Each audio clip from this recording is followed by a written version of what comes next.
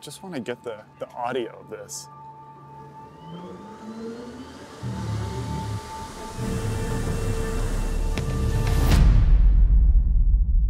So this is a pretty key step in our test campaign, moving from the hull to the foil. So sea gliders float, foil, and fly. This hydrofoiling mode is the key differentiation between a sea glider and everything that's taken off from the water in the past. As we come up to speed here, you're gonna see it coming out of the water on those hydrofoils. They're automatically controlled, monitoring the water and making minute adjustments to stay perfectly locked and stable as we're five feet in the air.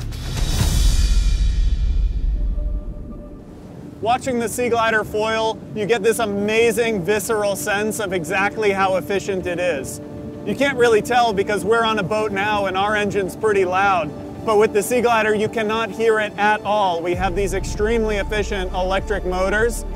You can also look at the Seaglider and see behind it from those foils, there is no wake. The big challenge with seaplanes or flying boats or even wing in ground craft in the past is that they use normal hulls. See how hard our test boats are working. This is how conventional hulls work. They're pushing water out of the way, skipping over the surface. All of that means inefficiency. A sea glider is different. Sea glider uses its hydrofoils to get up to speed. So it's using this very efficient state to get that speed required for takeoff. And so a sea glider is really the definition of how to be an incredibly efficient vehicle. That means speed, that means range, that means payload, and very importantly, that means efficiency enough to use our battery systems.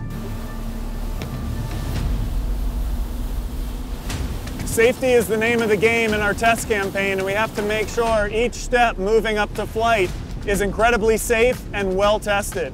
So what we're doing right now in the hydrofoil campaign, we're starting off at these relatively slow speeds, 20 miles an hour or so, and then we're building our way up to closer to 50 miles an hour when we'll take off later this summer.